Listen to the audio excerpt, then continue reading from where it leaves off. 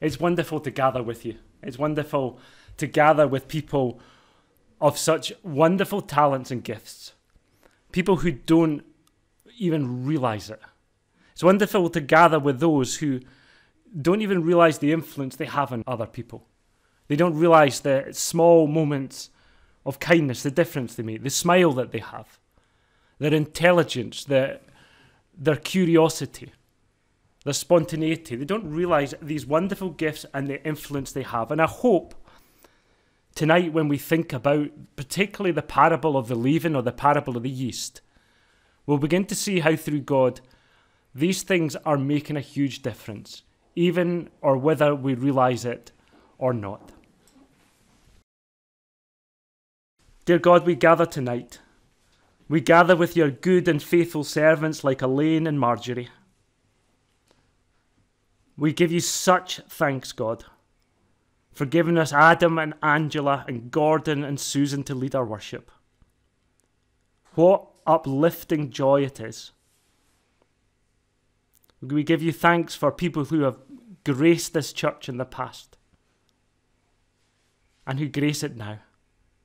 And Lord God, we ask and pray for continued blessings for new people to come, to inspire us and work within us as we all work to bring the kingdom of heaven here on earth. So, on this night, when there are loved ones in hospital, on this night when some of us may be full of concerns, on this night when we may worry about what lies ahead in the next week.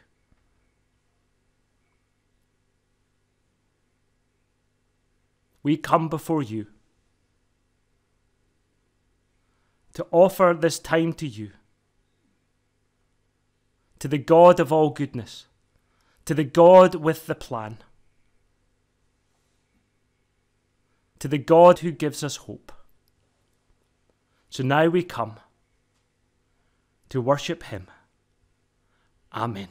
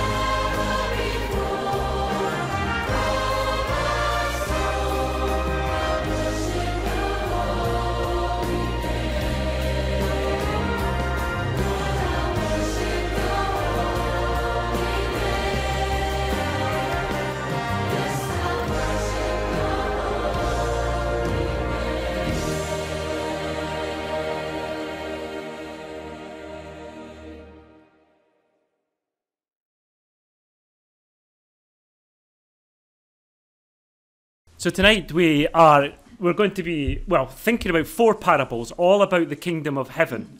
And Jesus says at the beginning of Luke's gospel, he says that the kingdom of heaven is near.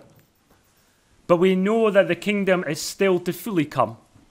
So when we pray the perfect prayer, the Lord's Prayer, we'll hear, of course, and say again these words Your kingdom come. Let us pray. Lord God, thank you for the joy here tonight. Thank you for the fun. Thank you for the happiness.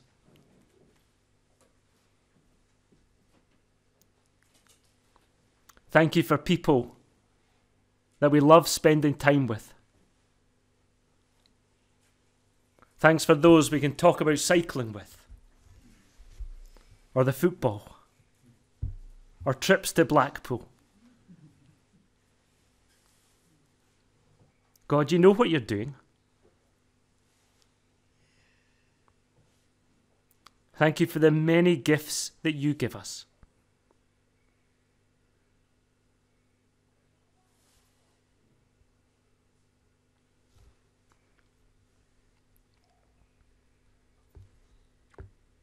Lord God, you give us so much, and yet we take so much for granted.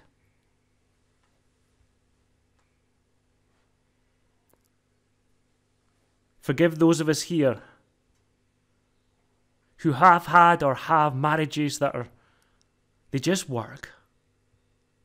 We don't thank you enough, God. Those of us here tonight who have children and they're safe and well. We don't thank you enough. Thank you, God, and forgive us. Those of us here who have grandchildren and great grandchildren. We're so lucky, God. We give you such thanks. Forgive us when we don't come to you in thanks enough. Forgive us when we don't thank you for our health.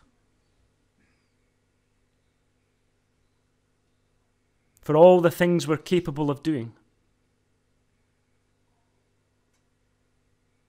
Especially when we know tonight that there are those who are unwell.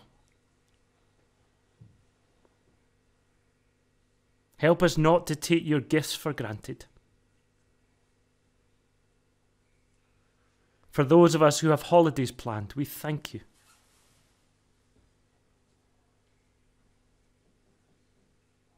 You give us so much. And forgive us when we fail to come back to you and appreciate all we have.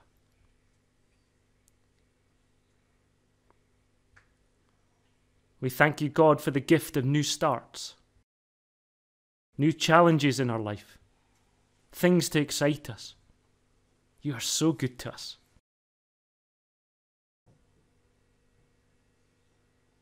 Forgive us, God, when we take for granted all that we have the food in our cupboards, the packed fridge, the freezer, the contents of which we've forgotten half. And so help the story of Esther Saizi and the work of Christian Aid tonight humble us and make us repent. And help us to see again what we can do so that your kingdom comes. And so in whichever words we are most comfortable with. Whether we are at home or here tonight, we pray the words that Jesus Christ taught us Our Father, who art in heaven, hallowed be your name. Thy kingdom come, thy will be done on earth as it is in heaven. Give us this day our daily bread and forgive us our debts, as we forgive our debtors. And lead us not into temptation, but deliver us from evil. For yours is the kingdom, the power, and the glory forever.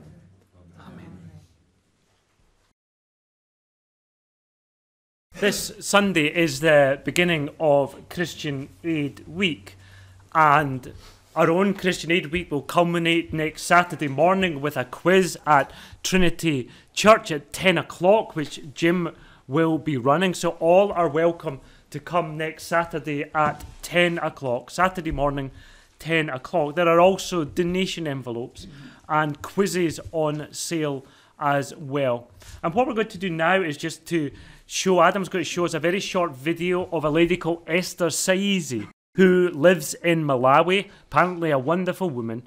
And it's going to be a story of Esther Saizi and the great success of pigeon peas. Welcome to Malawi, the warm heart of Africa. Stay tuned for your Christian Aid Week broadcast. Rising food and energy prices are impacting millions across the world. Economists point to COVID, the war in Ukraine, and poor harvests as the cause. And now, a short ad break. Bread prices up by 50% in just three months? Our tasty locally produced rolls could be the solution. Esther is here to serve you delicious rolls straight from her cooperative's oven. No need to travel, our team will come to you. Esther's rolls are baked using flour made from locally grown pigeon peas. So there's no expensive fuel related costs to hike up the price. And no need for costly imported wheat. Thanks to pigeon peas' awesome drought resistant properties, everyone can enjoy them when other crops fail. But hurry, Esther's rolls are selling like hotcakes. They are loved by adults and children alike. Esther's little grandson Nespel can't get enough. Your family will love them too. Next on Christian Aid Week TV, it's Esther's story. ine abambo atamwalira chaka chatha zinanditengerapo masiku angapo ndithu kuti ndilimbe monga mukudziwa kuti wina akachoka mtima umakhala wosweka choncho silimatha tsiku asanabwere munthu odzapemphera pa nyumba pano. Olo akumpingo kumene amatha kubwera kudzapanga mapemphero pa nyumba pano malimo kuti ine ndiyende ndipite ku chalichi.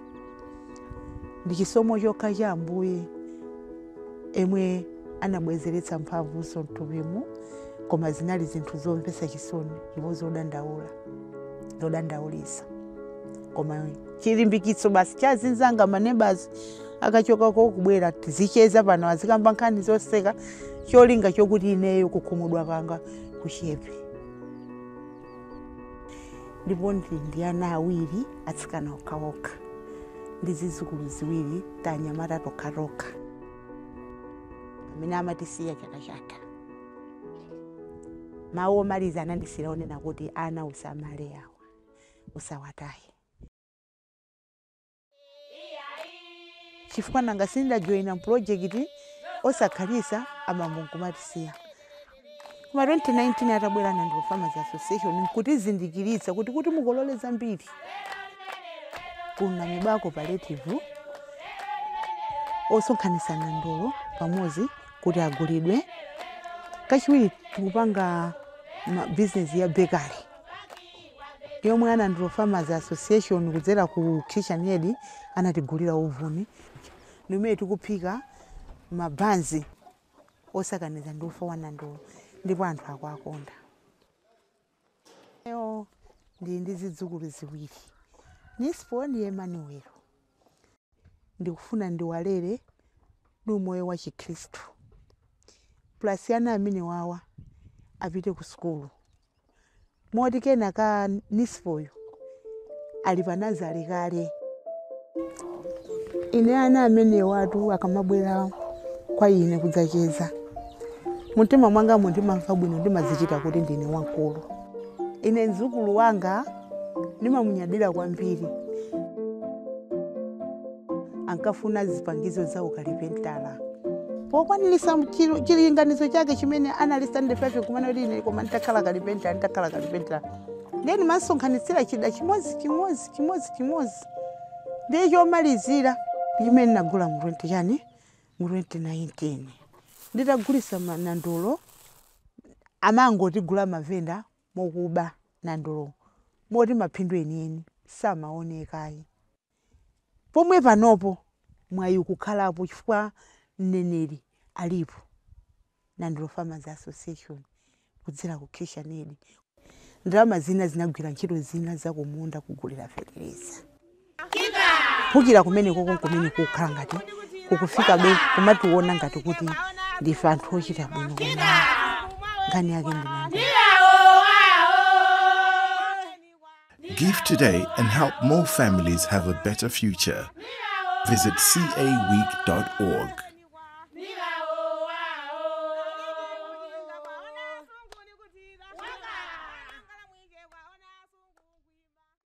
Okay, everybody. And that's a wrap.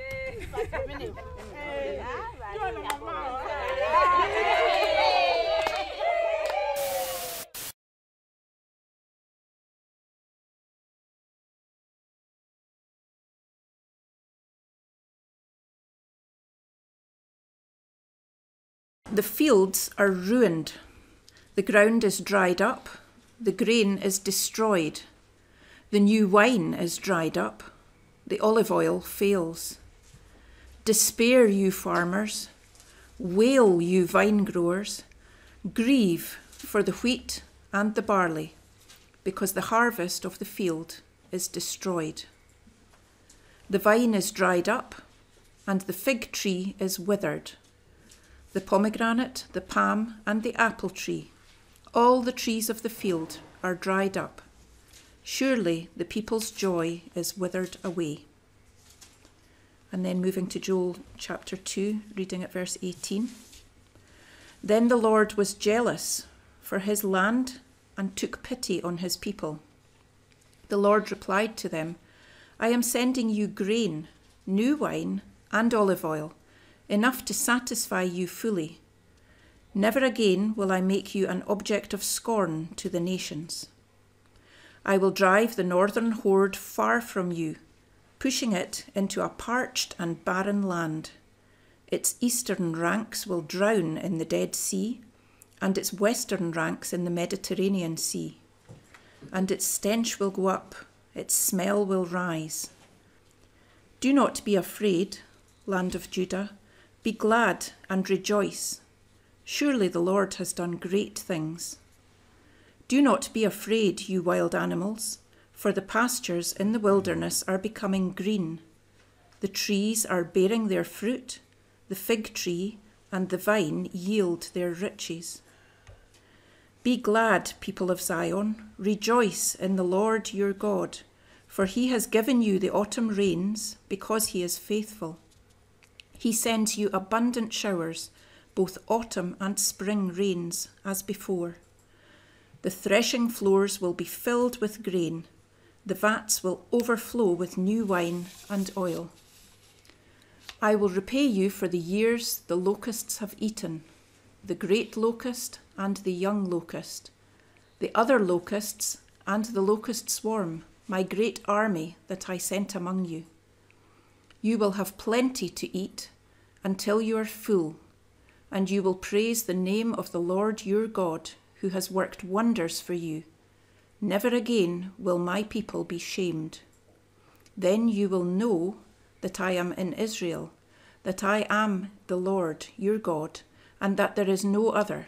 Never again will my people be shamed. And afterward I will pour out my spirit on all people. Your sons and daughters will prophesy.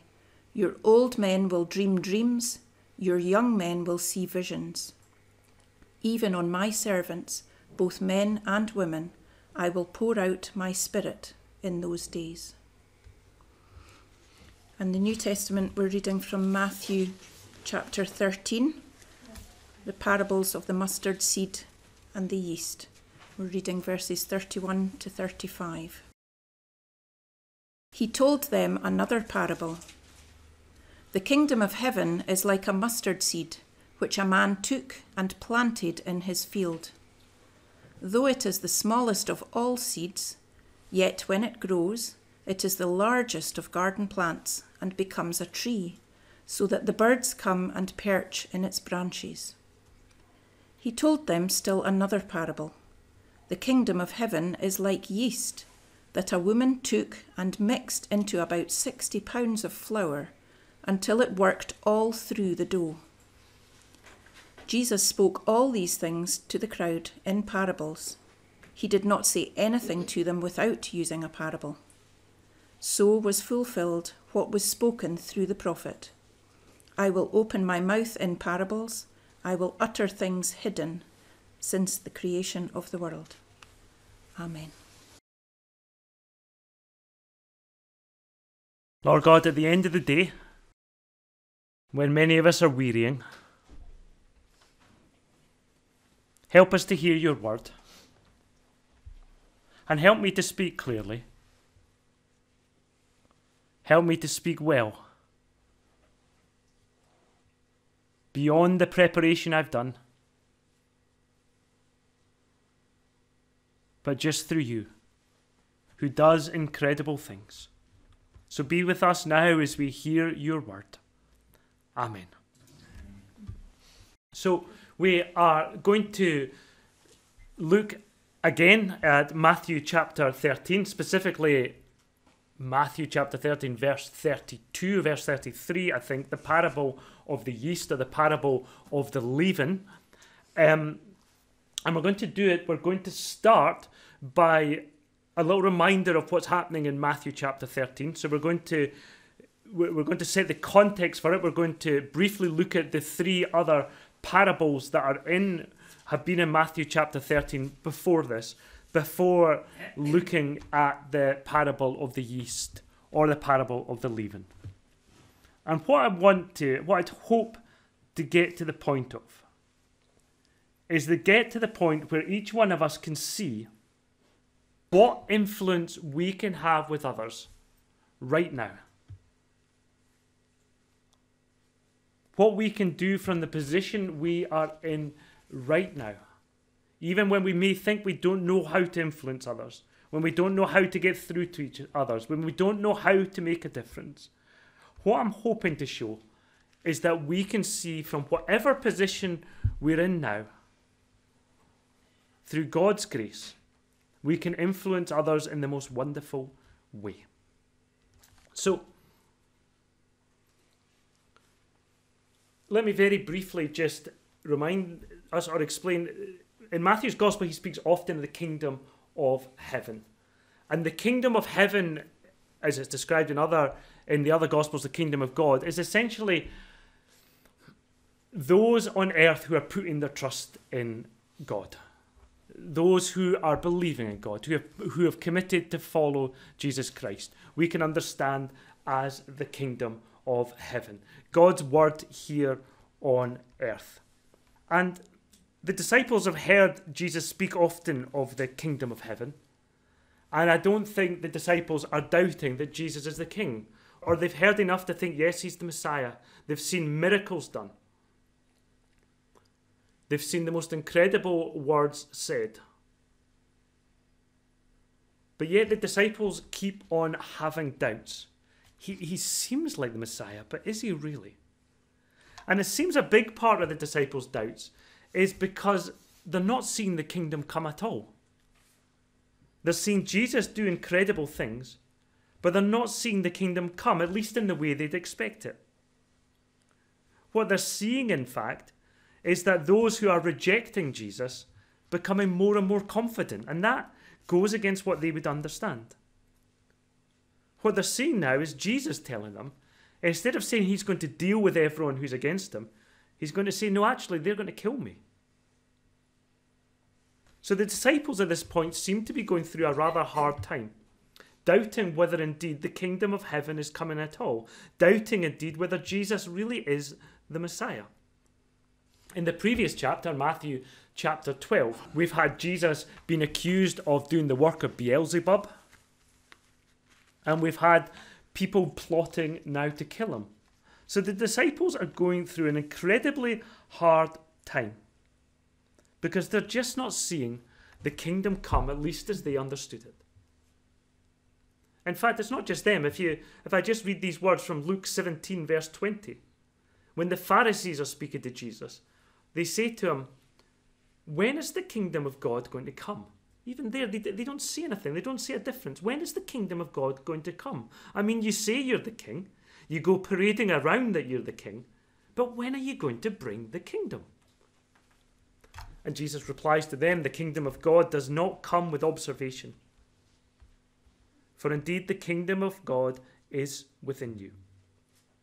So it's in this context of the disciples doubting and going through a hard time and trying to understand what's happening that Jesus tells these parables in Matthew chapter 13. That he, there's still the crowds around and he gets in the boat and speaks to them in parables.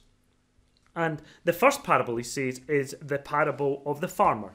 And we know it's a well known parable, the, par- the parable of the farmer who has the seeds and he scatters the seeds everywhere. Throughout all the land, the farmer scatters the seeds. Some lands on paths, and the birds come and eat it up, and birds come and take the seeds. Some, some lands on the rocky soil, and it grows. The, the, the, the, the plants grow, but the soil's too thin, so it, it doesn't take long that the plants wither. Some lands in the thorny ground, and after a while the thorns over, overwhelm all the, the new plants. And only some lands on the good land, and there the most wonderful plants grow up.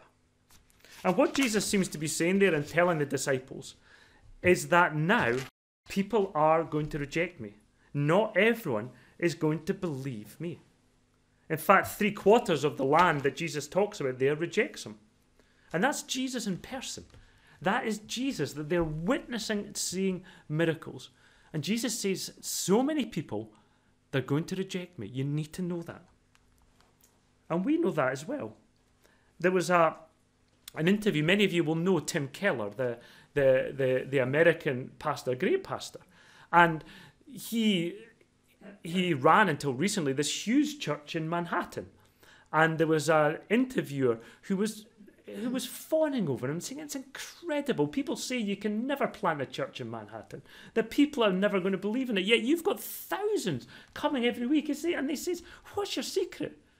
He says, "Well, in Manhattan, you know, thousands come, but millions don't." And it, and it was true. And it was a very humble answer, but it was also a very true answer. Yeah, thousands come to the biggest church in Manhattan. Thousands come, but millions don't. Millions don't. What's the that that hymn that we sing? One day every tongue will confess you are God. One day every knee will bow, but still the greatest treasure remains for those who gladly choose you now. Jesus is saying to us, people will reject me. You have to know that. This is what the kingdom of heaven is going to be like now. Then he tells another story. The kingdom of heaven is like a farmer who plants wheat. And then at night, the enemy comes and plants weeds all around the wheat. And the farmhands say, What should we do with these weeds? Should we pull them up? And Jesus says, No, don't. Just leave them all because you might accidentally pull up wheat at the same time. Just leave them all till the harvest. And what Jesus is saying to us there is don't judge others. You don't know what's happening. You don't know what you're doing. You might make a mistake. Don't judge others. My job is to judge others. I'll deal with that.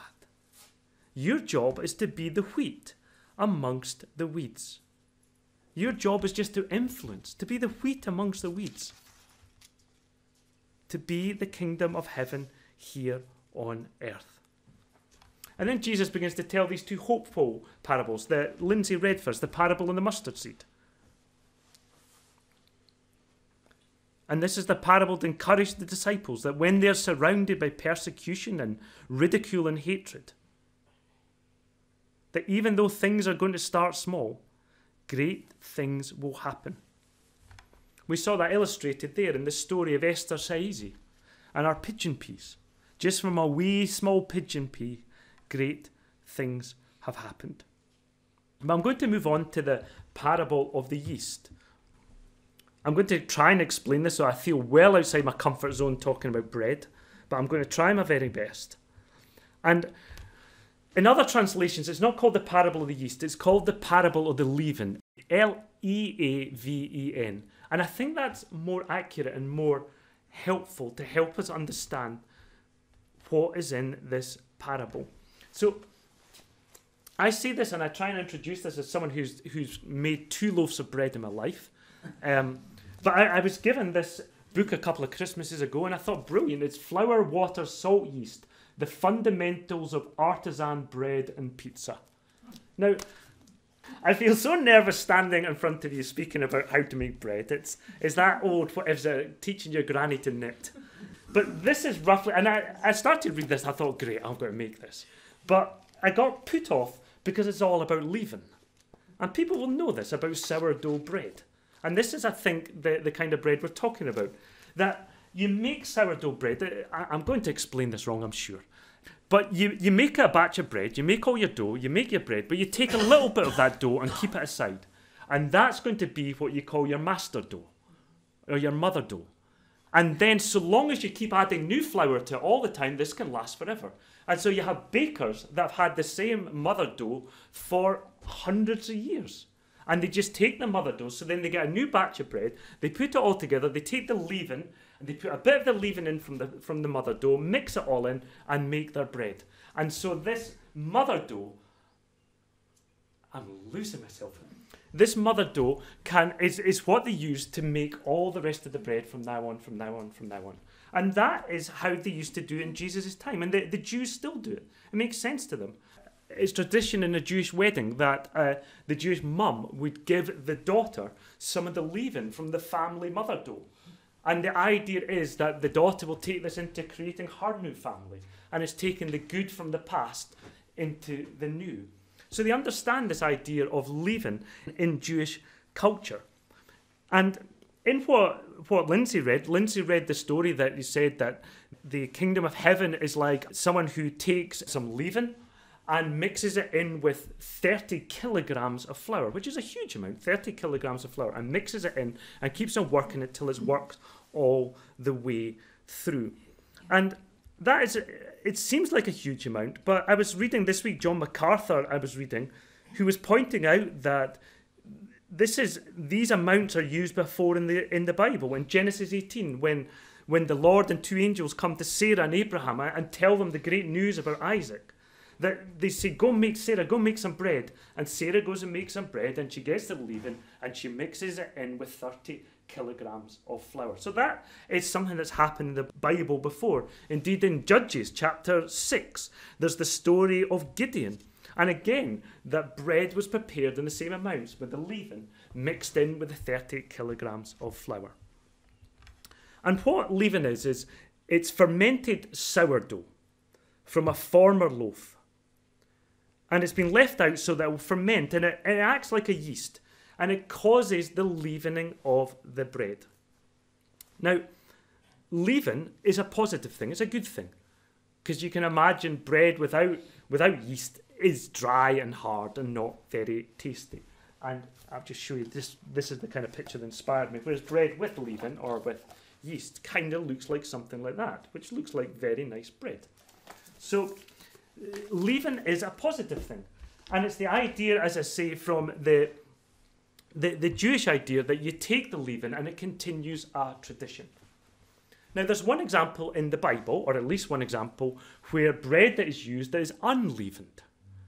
And the example comes in, as we know the story of the Passover, when the Israelites had to leave Egypt and God had told them, you know, to, to mark on the on the doors and, and things like that. And God said, You're going to mark this by having a festival of unleavened bread. For five days, for seven days, you're going to eat bread that is unleavened.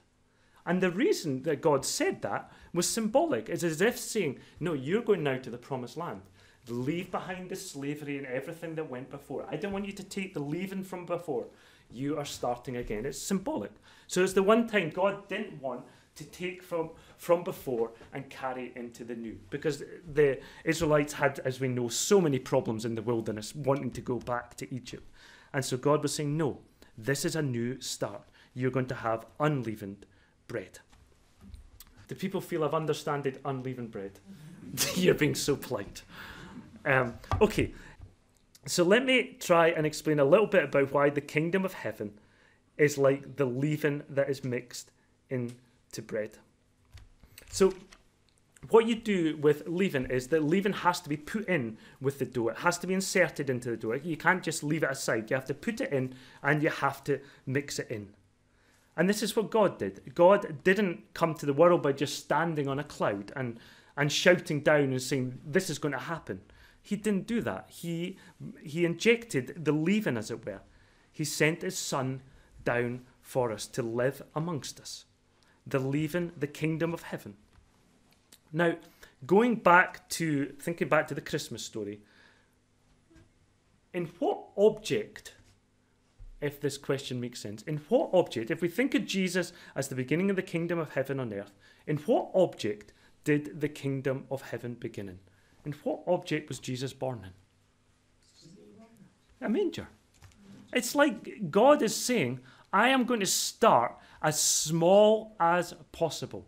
I'm going to start this in a place where you feed animals. And I'm going to do this in the most obscure part of the Roman Empire.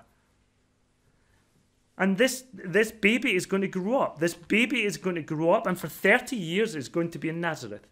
And is going to watch his mommy make bread. And is going to learn how the leaven goes into the bread. And is going to be seeing, okay, I can use that to explain to people what the kingdom of heaven's like.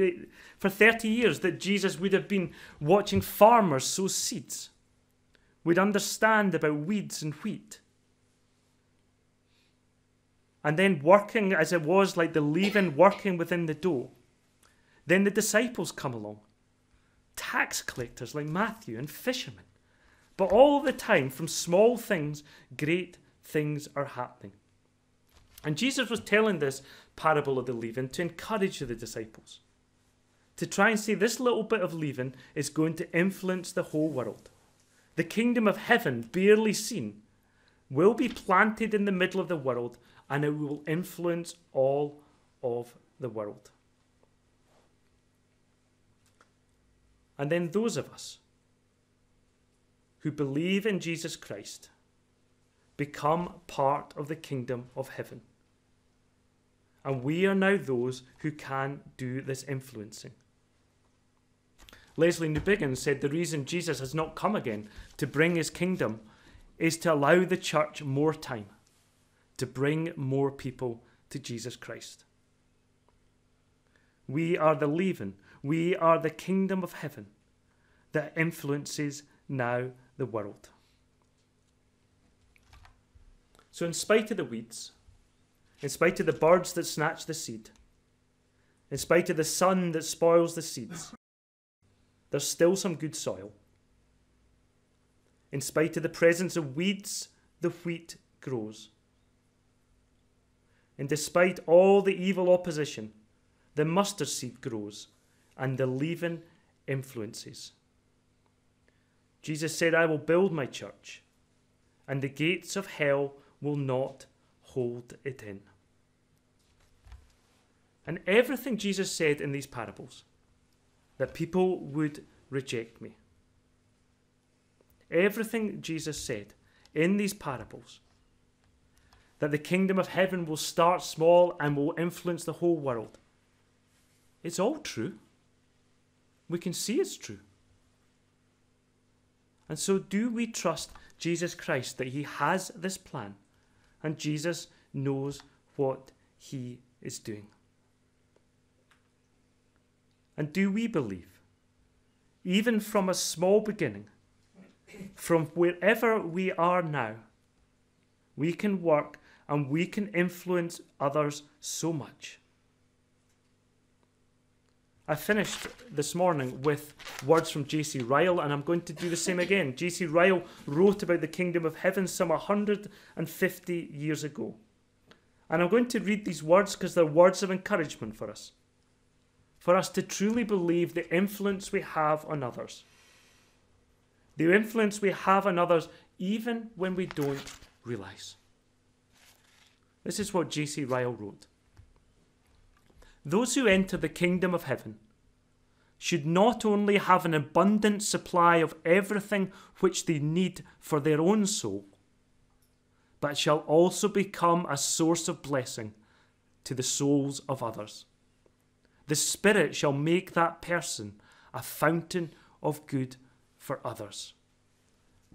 Does that make sense so far? That everyone who believes in Jesus Christ, you've no idea how the Spirit then uses you to be a source of blessing for others. This is what he goes on to say No person comes into the kingdom of heaven just for themselves.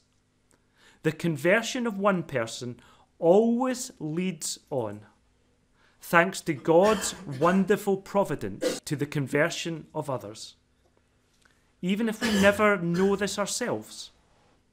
It is far more likely, he says, that many live and die in faith who are not aware that they have done any good to another soul. But on resurrection morning and judgment day, it will be proved the promise that no person lives unto themselves. Even the penitent thief on the cross has become to others a source of blessing to thousands of souls. Some people are like rivers of living water while they live.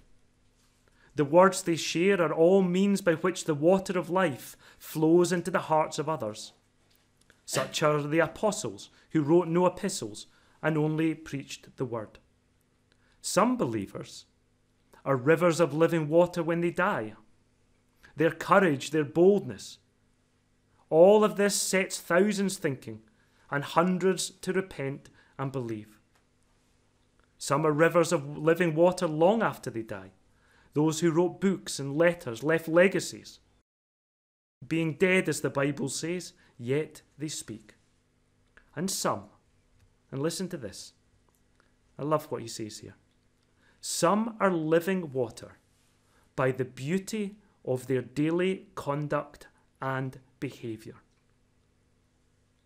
Many who make no show and no noise, and no noise in the world, and yet they insensibly exercise a deep influence for good on all around them.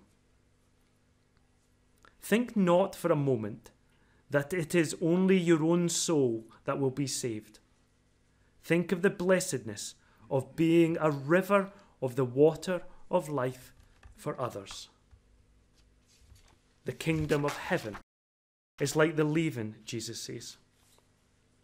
That person takes and mixes into about 30 kilograms of flour until it is worked all the way through the dough.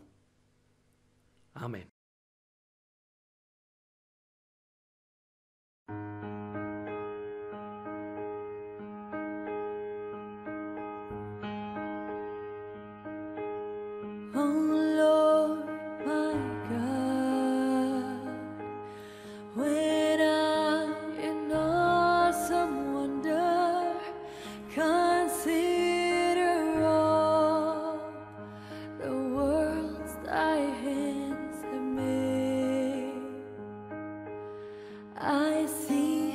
the stars. I hear.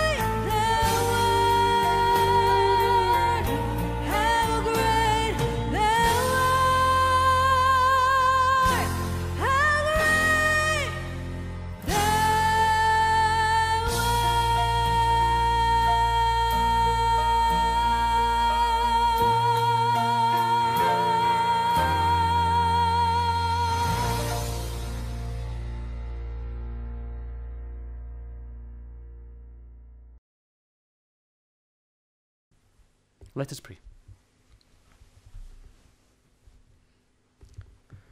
Lord God, on Christian Aid Sunday, we cast our eyes wider than normally perhaps we do.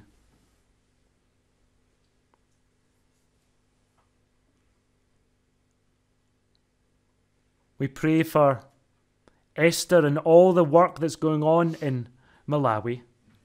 We give thanks for her story of the pigeon peas.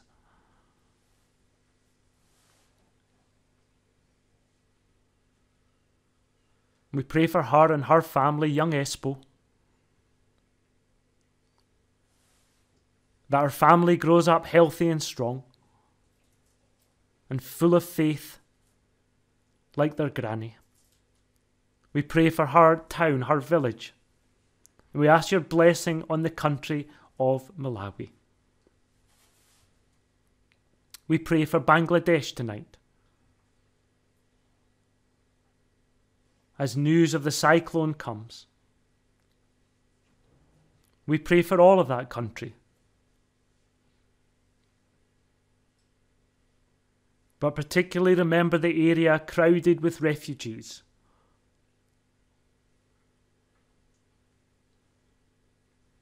in temporary housing never designed to cope with such natural disasters. Lord God, may your mercy be upon them tonight.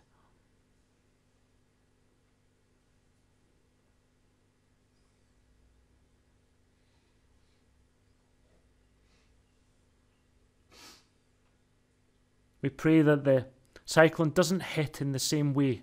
Lord God, please have mercy.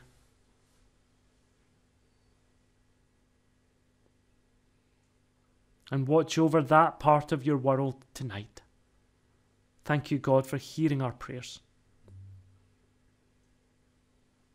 And we pray closer at home. We pray for joy.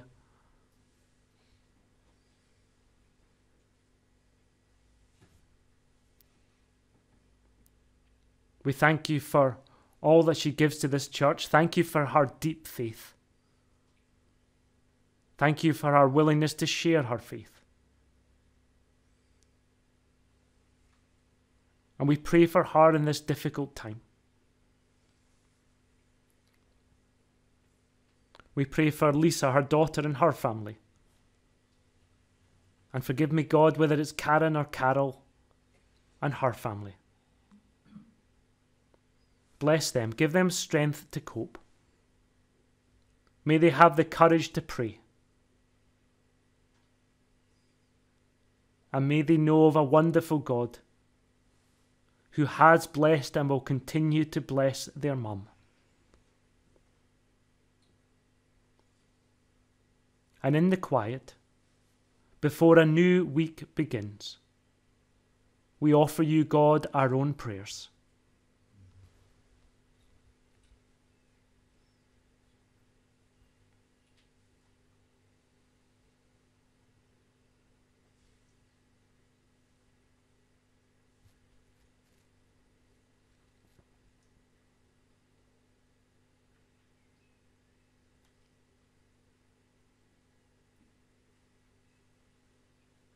Lord God, in your mercy, hear our prayers.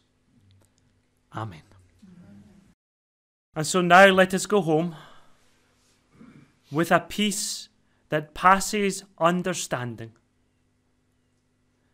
knowing that all is well,